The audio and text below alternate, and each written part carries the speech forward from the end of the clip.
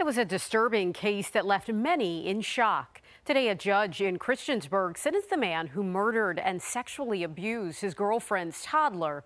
10 News reporter McKinley Strother was inside the courtroom as the family of little Stephen Meek spoke for the first time.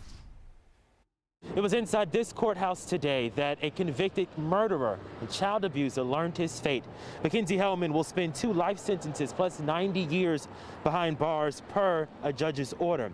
Even as the victim's family, a two-year-old baby boy, gave very emotional testimony today, Mackenzie Hellman still seemed very despondent, just as despondent as he was during his jury trial. Can you please answer me? I can't, we can't record a nod. Nope. You know of any reason why judgment should not now be pronounced against you? Nope. Those who did care for two-year-old Stephen Meek II's life were in the courtroom Tuesday. He loved uh, he loved me. He loved his grandma. He loved his father.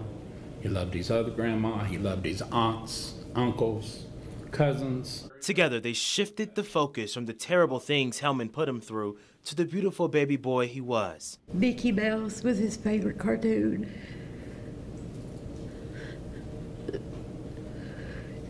I can't even bring myself to watch Mickey Mouse. I'd do anything to have him back. I really would. That picture right there, that's the one that I'm missing bad, Your Honor. Hellman pled guilty to murder and child abuse. He was also convicted for the unthinkable sexual abuse he and his ex-girlfriend subjected the young boy to. She also happens to be the little boy's mother. I hope that you get the punishment that you deserve and suffer just like we have the loss of this baby boy. While today may feel like the final chapter in that baby boy's life, he lives on, I know that for sure, in the hearts of his loved ones. In Montgomery County, I'm McKinley Strother, 10 News, working for you.